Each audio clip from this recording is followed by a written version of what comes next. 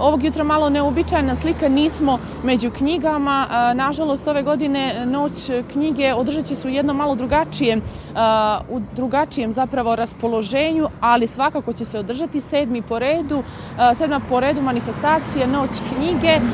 O svim detaljima u nastavku razgovarat ćemo sa mojom sagovornicom Maidom Gočević, PR menadžerkom Nove knjige. Dobro jutro.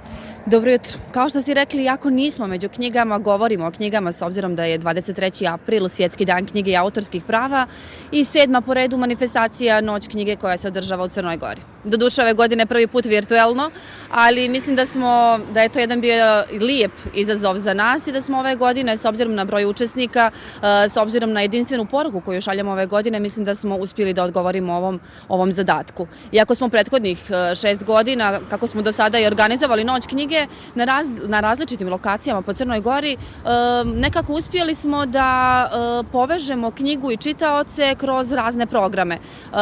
Na ime, do duše, u prethodnih godina, to su bile razne promocije, razne druženje sa autorima, što neće izostati i ove godine, jer ove godine ćemo imati e, sve to, ali malo drugačije, dakle virtuelno, razni sajtovi, portali, društvene mreže, e, svi ćemo danas govoriti o knjizi.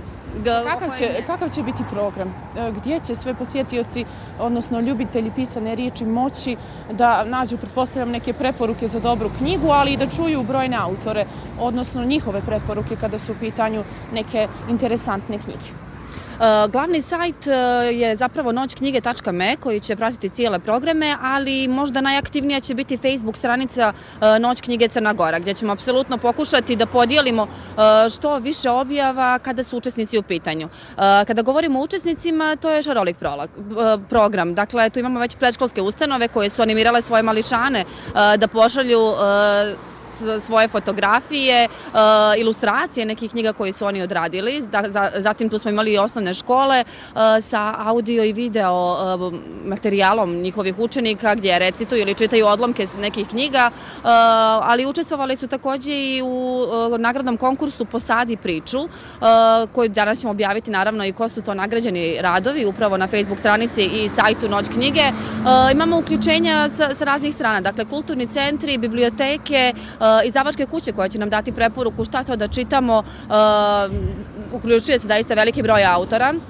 Da vas pitam, ko će biti autori i kako su oni generalno reagovali na cijelokupnu ideju? Uh, autori, s obzirom da, da nam fali taj nedostatak, njima zapravo najviše, upravo uh, im fali taj kontakt sa čitaocima, uh, ovo je bila njihova poruka i odgovor na to da su oni zapravo tu. Poslali su nam poruku da stvaraju izolaciji, da nam pripremaju nešto novo.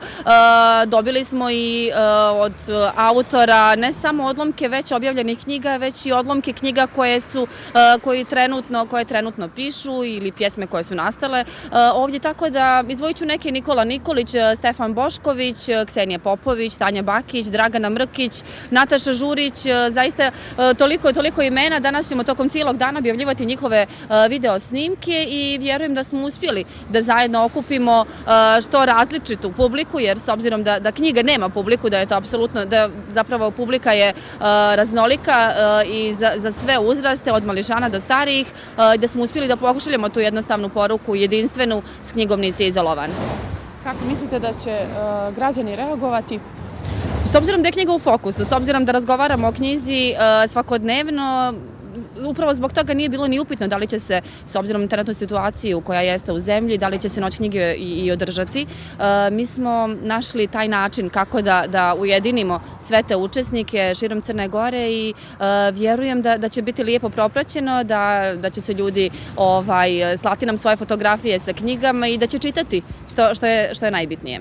Maida, hvala vam najljepše na izdvojenom vremenu i ja se nadam da smo poslali jasnu poruku. Apsolutno, s knjigom nisi izolovan, ostanite kod kuće i čitajte kod kuće. Eto, poštovani gledalci, na taj način bi i završili e, ovo uključenje. Dakle, sa knjigom zaista niste izolovani, iako ste kod kuće. E, uvijek možete pronaći neku zanimaciju. E, čuli ste Noć knjige, cijelokupna manifestacija trajaće cijeli dan. Noćknjige.me je sajt na kojem možete pronaći sve potrebne informacije.